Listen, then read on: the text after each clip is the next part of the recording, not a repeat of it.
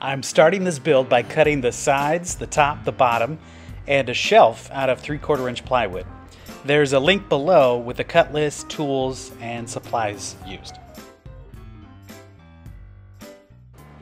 Next, I added pocket holes to the identical top, bottom, and shelf pieces.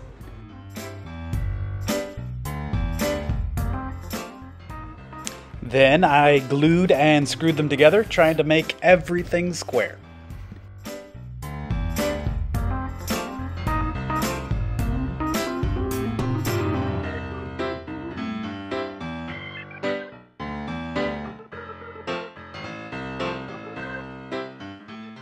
To get the shelf lined up, I pulled out a scrap and made a couple 5 inch spacers.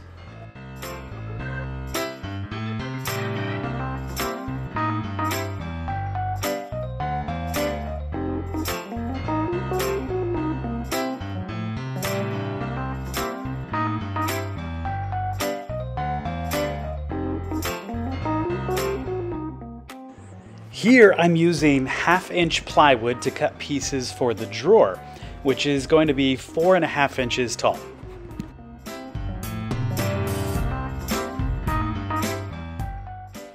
Next, I mapped out where to drill a 3 quarter inch hole for a finger draw pull. To avoid math, I did a little trick here. Instead of finding the middle of 6 and I think it was 3 8 inches, I angled the square to show 7 inches from one side of the board to the other. Then marked the middle at 3.5 inches, half of 7. Super easy to do. And I'm just realizing not so easy to explain.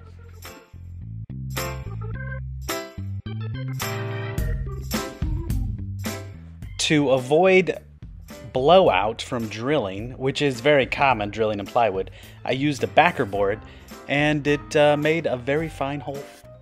I then whipped out a router with a chamfer bit to soften up that finger pull.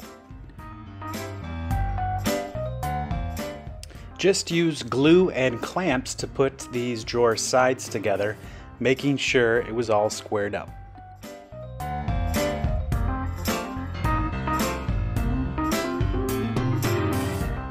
For the drawer bottom, I used quarter inch plywood, attached it with glue and brad nails, then used a chamfer bit to give it a more polished look.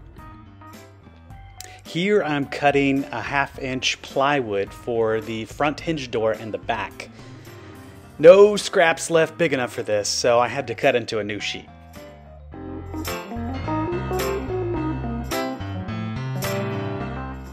using a 12 inch piano hinge for the door.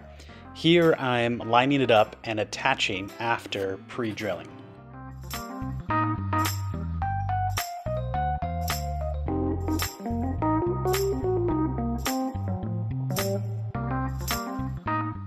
Attaching a magnet to keep the door closed.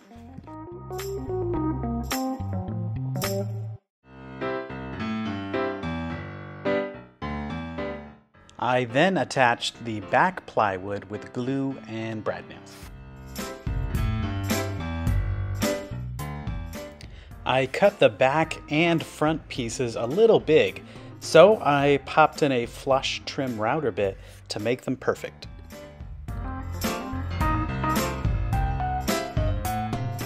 Totally unnecessary, but I decided to use the chamfer bit on the back panel too.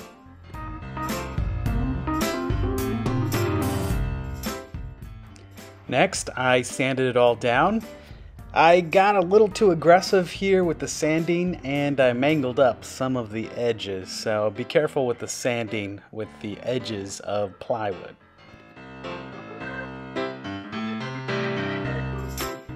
Next, I installed the doorknob and attached a cleat onto the back with wood glue, brad nails, then decided to use 1 inch screws after pre-drilling and countersinking. My son, oblivious to the blockbuster performance happening right in front of him.